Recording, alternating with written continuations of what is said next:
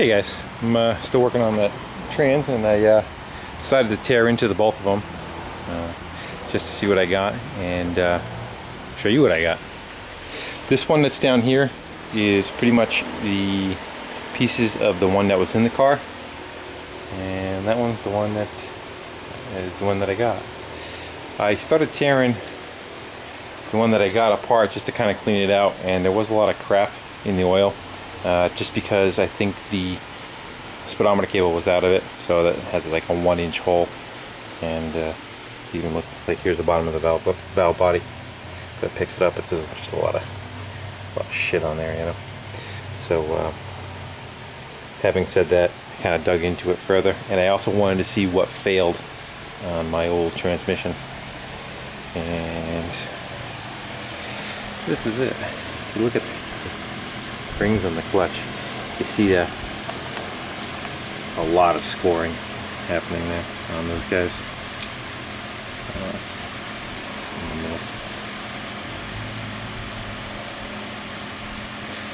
so I think that was what my failure was, is the clutches were just, had nothing left to them anymore and they were just kind of burning up. Plus, I, as I had said, they had a, a trans leak and it was leaking fluid.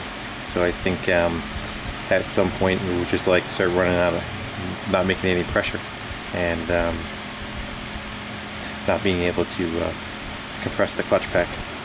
So with that I cut into the other one just to go see what we had on this one. And this clutch pack seems like I don't really see anywhere at all. They all look pretty good. My only thought was um, I was under the understanding that that clutch pack has a lot of pressure on it. And to get them suckers to get the retaining ring off we had to uh, put it in a clamp and compress it and get it out of there. But it didn't. They just come out with a lot of uh, there's probably like a I don't know 20 thou play between the say the clutch pack. I'll never get all these back in while you guys are trying to watch but uh, let's just say uh, there's a little bit of play in there. So I'm to do a little bit of homework on that before I um, start putting stuff back together. But I think I'm going to just, uh, for the ease of the installation, I'm not quite sure which way I'm going to go, but I may just go with swapping the stuff over to my other case because the case was smaller. But the one thing I did notice is this is that case that was larger. That bell housing bolted to here on it and on the other transmission it doesn't have this lip. All it has is this inner one where the pump sits and it uses the same bolts that the pump was held in, also held in the front of the bell housing. So I actually think I can take the um, bell housing that I have, the smaller bell housing, smaller torque converter and all those pieces and put them back together on this block if I want to use this block of the trans. So I figured just do a little exploded view of uh, what's inside. I didn't really find anything else besides that uh, on the trans that was having the issue. The bands didn't look bad.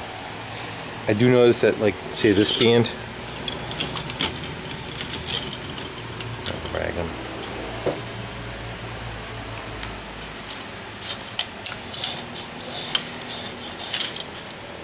That it's more of like a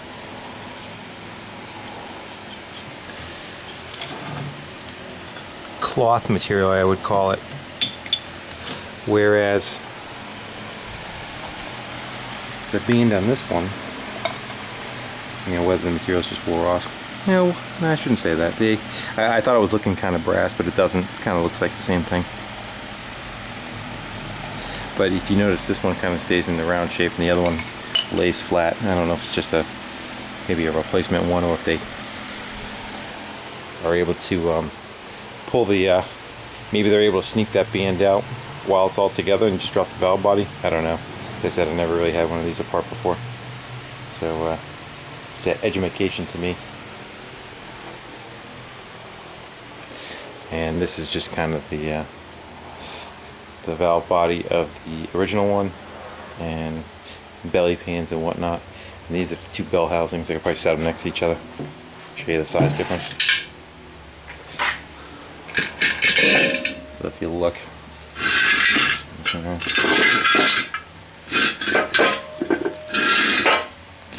apples to apples here. If you look at that one, you can see the holes on the small one where they just used the center where the pump was for the bolts. And on the large one, they kind of went right around that and they went on the outer uh, holes here for uh, bolting to that trans. Um, I do notice a height difference too, but actually it should be a height difference because of, uh, now that I'm looking at it, one's got a recess on it probably and one doesn't. Yeah, I don't know. Maybe he's got a fatter torque converter. And over here we got these two guys. And uh,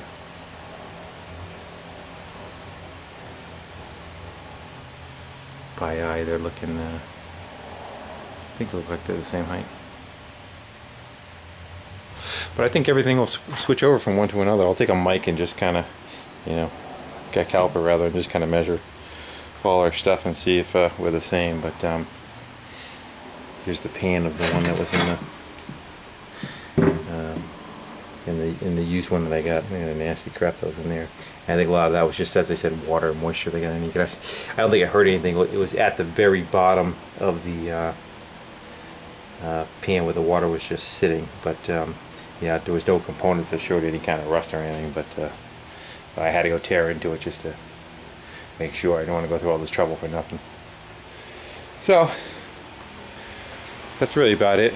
Uh, I'll let you know how I make out after I start getting the thing back together. Um, I sure have a lot of pieces left over. And uh, maybe a little bit of homework. Why? One says it has an H on the servo, and the other one says it just uh, an A on the servo. As far as what I knew, that H was a, a better trans. So. Well, thanks for uh, taking a peek at the mess I got, and uh, hopefully I get something back together. Thanks for watching.